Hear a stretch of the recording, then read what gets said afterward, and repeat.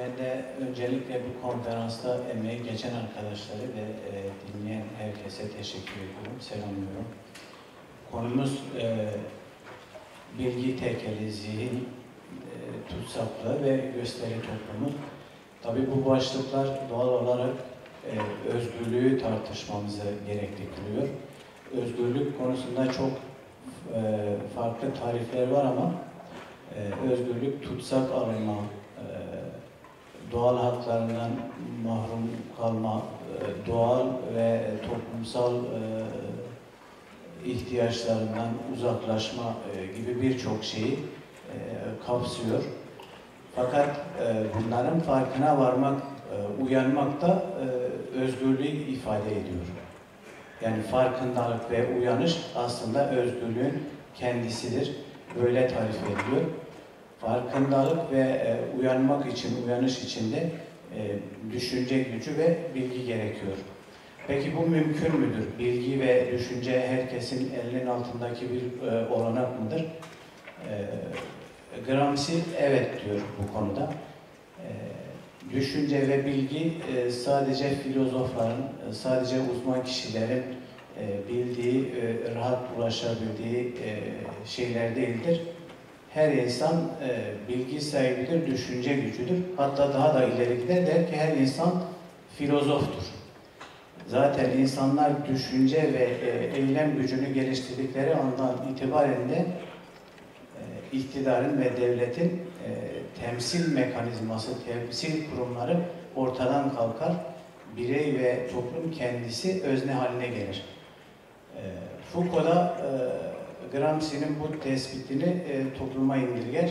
Toplumlar da doğal haliyle veya özgür bırakıldıklarında e, düşünce gücü e, ve e, bilgi e, kapasiteleri vardır. Eğer engellenmezlerse hakikati e, görebilirler. Neyin doğru, neyin yanlış olduğunu da rahatlıkla ayırabilirler der. E, fakat her iki düşünür de e, başka bir ilave yapar. İktidarlar ve egemen sistem tesis edildikten sonra da e, gerçeğe ulaşmak için perdeler, engeller oluşturur der. Kürt Halk Önderi Öcalan da bu konuya e, çok e, e, önem veriyor ve yazılarında söz eder. E, bireyin, e, insanın özgürce düşünebilmesinin e, temel koşullarından biri toplumun özgür e, kalması. Toplum özgürleştikçe, toplum özgür olduğu oranda bireyler de özgürce düşünebilir. Egemenler de tarihte hep bu e, gerçeği bildikleri için ilk önce zihni egemenlikler kurarlar, ideolojik kölelik oluştururlar. O nedenle de Sümer ziguratlarından söz eder Sayın Hocam'ın. Ee, Sümer ziguratları nasıldır? En üst katta e, Tanrı e, zihni tekeli elinde bulunduran Tanrı vardır. Orta katta onun adını e, politika yapan rahipler. En altta da e, tarım işiyle uğraşanlar ve inşaat işçileri vardır. Şimdi bu konu e, çok tartışmalı ama sol sosyalist düşünürler de bunu günümüzde de e, böyle tarif ederler. Günümüzde de e, gizli tanrıların kapitalist sistemi idare ettiğini söylerler.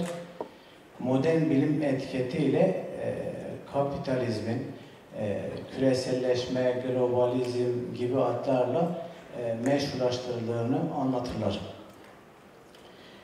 E, bu anlatım e, o kadar çok tekrarlanır, o kadar çok yerde anlatılır ki e, neredeyse e, genel bir doğru gibi. Küreselleşme, bütün eşitsizliklerin ortadan kalktığı, dünyanın bütün e, coğrafyalarında herkesin, her insanın, tüm hakların eşitlendiği, istediğini istediği an elde edebileceği mutlu bir dünya olarak anlatılır. Ve böyle işlenir. Oysa küreselleşme herkesin, daha doğrusu ezilenlerle, yoksullarla zenginlerin istem talep konusunda e, son derece özgür olduğu, herkesin her şeyi isteyebildiği fakat zenginlerin sahip olabildiği bir dünyadır. Bu böyle e, anlatılmaz bize. Dünyanın küresel bir köy olduğunu söylüyorlar, böyle anlatıyorlar. Ama diğer taraftan da e, köylerin etrafını e, milyarlarca dolarlık nükleer silahlarla koruyorlar. Bir taraftan marketlerdeki plastik poşetlerin dünyayı ne kadar kirlettiğini anlatarak istatistikler, rakamlar, verilerle bunu anlatıyorlar. Ee, dünyayı kirletmek, kirliliğini herkese, hepimize ortak ediyorlar ama diğer taraftan peş peşe e, enerji santralleri, nükleer enerji e, yerleri, e, HES'ler, barajlarla doğayı tahrip ediyorlar, ormanları kesiyorlar. Algı toplumundan söz ediyoruz, zihin teklerinden söz ediyoruz. Bütün bunlar olurken haberlerde de şöyle şeyler geçiyor. Milyonlarca insan aynı anda NASA'nın verdiği e, dün e, uzayda insanların da yaşamına elverişli yeni gezegen bulundu haberini kendileri de yarın öbür gün oraya gidebilecek alternatif bir yer heyecanı ve coşkusuyla izliyorlar, mutluluk duyuyorlar bu haberlerden. Eğer gerçekten insanlar ne olup bittiğinin farkına varmaz e, ve e, bu konuda e, kendileri düşünemez, kendileri yorum yapamaz duruma gelirlerse sisteme alışırlar ve o sistem bir süre sonra da doğal, herkesin kabul ettiği, itirazların en alt düzeyinde bir hal alır. Şimdi bütün bunlar olurken kapitalizm niçin bu kadar başarılı ya da küreselleşme diyorlar, başka isimler veriyorlar. Niçin bu kadar başarılı? Çünkü kapitalizm kendisini yeniliyor, yenilemektedir. Yenilemeyi de yeni ihtiyaçlar yaratarak, yeni tüketim alanları yaratarak, tüketimi ço çoğaltarak, çeşitlendirerek yapıyor. Yeni ihtiyaçlar e, ve yeni talepler içinde insanların bunları kabul etmesi ve bunu kendi ihtiyacı gibi görmesi gerekiyor. İnsanlara bunu da öğretiyorlar. Tam da bu noktada e, televizyonlar, gazete, gazeteler, sinema, billboardlar, seks, spor gibi bütün mekanizmalar devreye giriyor. İnsanlara da topluma da neyin ihtiyacı olduğu, neyin ihtiyacı olmadığını e, anlatıyor, öğretiyorlar. Bu süreci bilimin ser, sermayeleşmesi ve iktidarlaşma başlığıyla e, ele alan Kürt Halk Öderi Öcalan e, şöyle diyor. Günümüzün çok tartışılan ve gerçek hükümran güçleri olan küresel şirketlerin ve tekellerin tarihin en büyük sermaye patlamasını bu dönemde gerçekleştirmeleri toplumun bu hale düşürülmesiyle yakından bağlantılıdır. Toplum düşürülüp dağıtılmadan bu kadar sanal yolla yani hiçbir üretim aracına el değdirmeden paradan para kazanma gerçekleştirilemezdi. Sorun çözen bilim karargahları, mabetleri artık sorun yaratmanın, yabancılaştırmanın, ideolojik hegemonyanın merkezlerine dönüşmüştür. Akademi ve üniversitenin yozlaşması ve bilimsel kriz bu koşullardan kaynaklanmaktadır. Biz bu arada Türkiye'den buraya e, göç etmek zorunda kalan binlerce akademisyene, eğitimciyi de selamlayalım bu e, eleştiri onların dışında. Dolayısıyla toplumu sömürü kaynağı olarak gözüne kesilen zorbalar, egemenler ilk işleri olarak toplumun zekanma, ze, zeka ve düşünme olanaklarını zayıflatırlar. Tekrarlamanın sakıncası yoktur. Milliyetçilik, dincilik, cinsiyetçilik, sporculuk, sanatçılık ikonlarını sallarsan toplumu, kitleyi dilediğin her yere, her hedefe taşıyabilirsin. Zihni fethi hiçbir zorun başaramayacağı kadar toplumu bugünkü küresel finans sermayesine açık hale getiren gelişmenin temelidir. Peki sıradan insanlar, normal insanlar ya da hepimiz bütün bu e, o karmaşık ya da çok farklı birbiriyle çelişen bilgilere rahatlıkla sahip olabiliyor muyuz? Esas sorun bu. Ya da bu konferansların bir e, amacı da o. Yani uyanış, farkındalık mümkün müdür herkes için? E, Arinda Tiroy e, bu konuya kesin e, bir dille hayır diyor e, ve biraz da e, ironi yapıyor. Diyor ki insanların gözlerine lens takmışlar. insanlar e, o gözlerindeki lensler nedeniyle yoksulluğu e, görmüyorlar, sömürüyü, katliamları, cinayetleri, cinsiyetçiliği, adaletsizlikleri, doğa tahribatını görmüyorlar.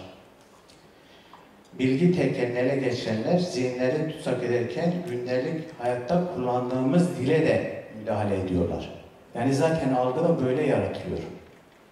Yani gündelik dilde kullandığımız kavramlar, deyimler aslında e, bu sistemi, bu sömürüyü sö sö sürdürenlerin yarattığı e, bir dil. Roy e, bundan da e, söz ediyor. E, küreselleşme dediğimiz gibi küreselleşmeden söz ediliyor. Küreselleşme, globalizm, küresel köy e, kavramları mahzun görünüyor ama aslında e, bununla e, kapitalizm, yerine bu e, kavramları ikame ettiklerini düşünmeliyiz. Artık kapitalizm, emperyalizm deyince insanlar e, şaşkın şaşkın bakıyor. Unutulmuş sanki e, günlük yaşamda veya bugün bir değeri önemi kalmayan kavramlar gibi kullanılıyor, değerlendiriliyor. Yeni kavramlar kullanılıyor. Kapitalizm çünkü sömürü ve kapitali çağrıştırıyor ve herkes bunu bilir. Kapitalizm yerine serbest piyasa ekonomisi deniyor. Serbestlik de iyi bir şeydir, piyasa da iyi bir şeydir. Yani düşündüğümüzde böyle kavramlarla oynamak. Soykırımı artık çok kullanmıyorlar. Birleşmiş Milletler Teşkilatı da dahil televizyonlar, gazeteler bunun yerine daha şık bir terim bulmuşlar. Etnik arındırma. İnsanlar ölüyor, cinayetler işleniyor, toplum katliam, toplu katliamlar oluyor, oluyor. Deniyor ki falan yerdeki etnik arındırma. Şimdi bu örnekleri daha da e, çoğaltabiliriz. Ama e, bütün dillere çevrilen e, klişeler de var. E, üniversiteler söylüyor, e, askeri uzmanlar söylüyor, toplum mühendisleri söylüyor bu klişe nedir? İhtiyaçlar sonsuz, kaynaklar sınırlıdır. Şimdi herkes söylüyor. Niçin ihtiyaçlar sınırsız olsun? İnsanın da, toplumun da, diğer canlıların da ihtiyaçları hiç sınırlı değil. İhtiyaçlar sonra sınırsız olunca işte piyasa canlanıyor, herkes para kazanıyor, ticaret e, gelişiyor, zenginler zengin oluyor.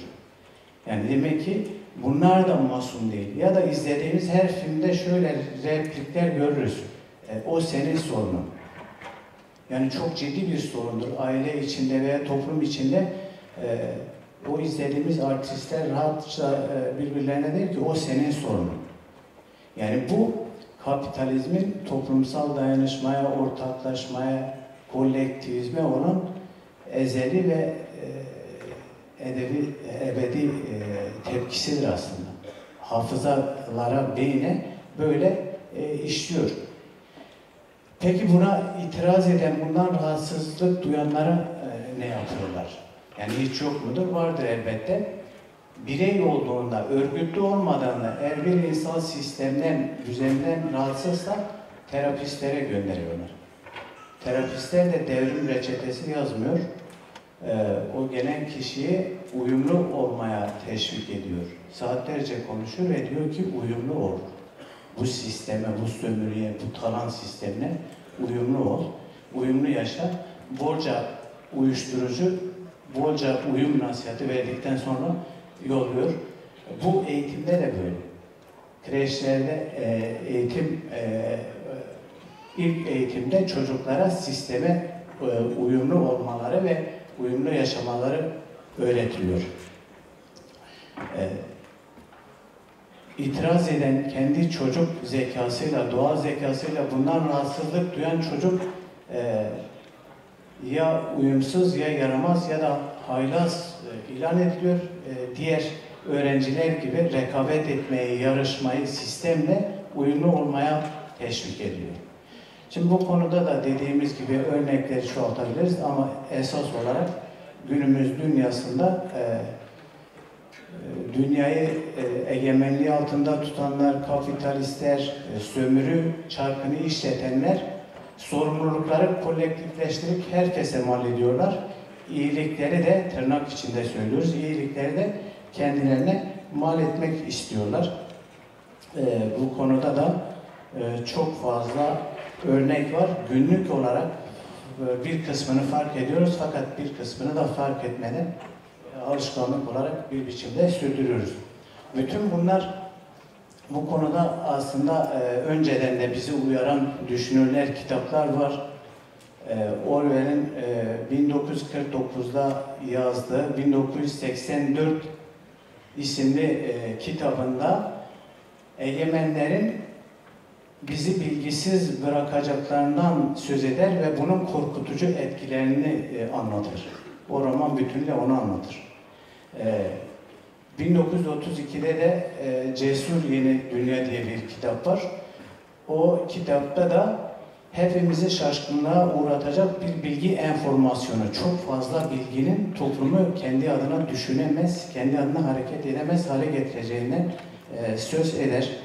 E, Galliano da bu konuda e, e, israf, teşhircilik, vicdansızlık, e, çevremizde olan bitene ilgisizlik konusunda bu iki kitapta bahsedilen düşünürlere katılır. E, peki ne yapmalı, nasıl yapmalı, hiçbir çaresi yok mu bu işin? Bu konuda da aslında bu konferansa katılan birçok düşünürün, konuşmacının belirttiği gibi çare var. Çare e, insanın ve toplumun kendisidir. Kendi bilgisini kendisinin üretmesidir. Kendi düşünme, yaratma ve eylem yapabilme kapasitesine inanmasıdır. Zaten e, düşünen, kendi bilgisini kendisi oluşturan insan ve toplum aynı zamanda harekete geçme, eylem yapabilme gücünü, kapasitesini de e, gösterir. Biz de buna inanıyoruz. Bütün dezavantajlara, yoğun saldırıya rağmen gelecek günlerin e, güzel olacağını, bilgi tekelinin kırılacağını, zihni e, tutsaklığın kalkacağını, e, insanların ve toplumların özgürleşeceğine inanıyoruz. Herkesi selamlıyoruz.